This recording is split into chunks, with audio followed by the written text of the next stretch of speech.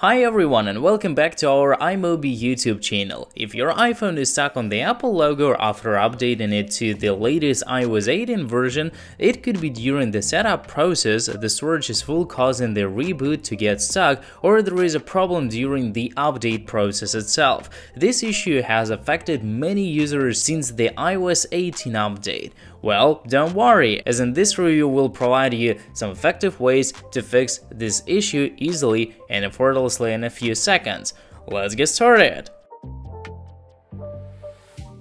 For the first step, we'll try to fix our iPhone which is stuck on the Apple logo by forced reboot option. A forced reboot with the simple steps can solve problems caused by temporary failures or system errors. For that, Press and quickly release the volume up button. Then press and quickly release the volume down button. Then press and hold the side button until the Apple logo appears right on the screen of your device. Now your iPhone should restart automatically and be back to normal functioning. For the next option, we'll use the default Apple services, namely iTunes on Windows or Finder on Mac. Simply connect your iPhone to your computer and launch iTunes or Windows on it. Next, put the iPhone into recovery mode.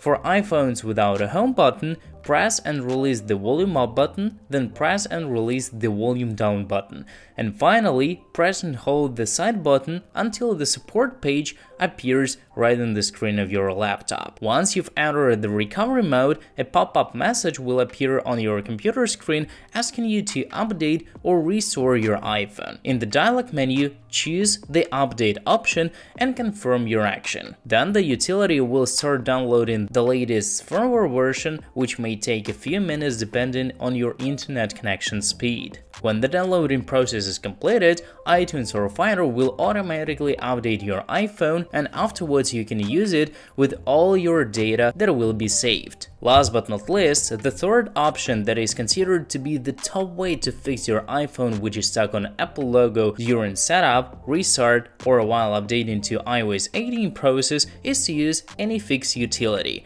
AnyFix is a powerful software that addresses more than 150 iOS system issues without data losing, including the iPhone stuck on the Apple logo during setup, restart, updating to iOS 18 and many others. For that, simply download and install AnyFix utility for free right on your PC or Mac computer via the link in the description. Next, launch the application on your computer and connect your iPhone to it via USB or Type-C cable. In the pop-up menu, go to System Repair option and click on Repair Now button. Here you'll see many issue categories and among of them, you need to go to Screen Stuck option which includes the iPhone stuck on the Apple logo problem. After that, click on Start Now button. In my case, I need to choose a standard repair option because at the end, I don't want to lose my data. After the firmware is downloaded, click on the Start System Repair button to continue. Then, please wait for a while till your iPhone will be resorted and repaired by AnyFix utility. When the process is completed, you can see that your iPhone is not stuck on the Apple logo anymore and you can use it as you've done before. And here we go, just so simple as that. Hope that all the tips that we've shared with you